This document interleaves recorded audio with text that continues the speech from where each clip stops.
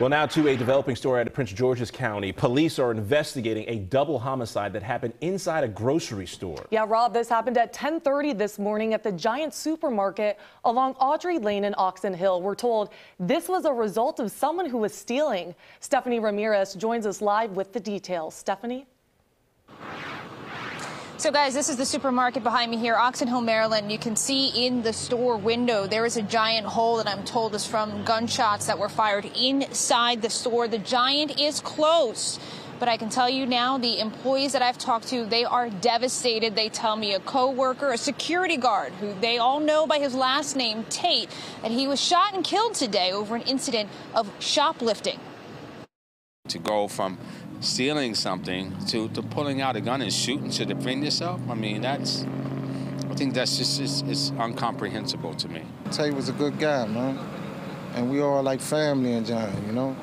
So when you hear one of your coworkers dying, it, it hurts. It's out of hand, it's out of control.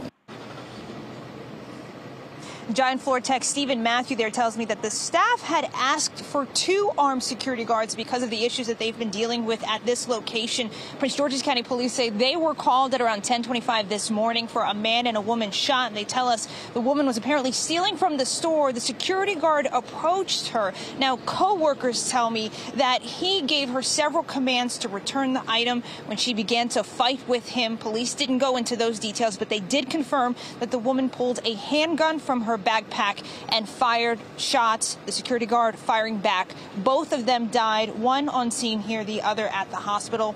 Employees today tell me they lost someone who was caring, who has a family, and who would often encourage his coworkers and even buy them lunch here, guys.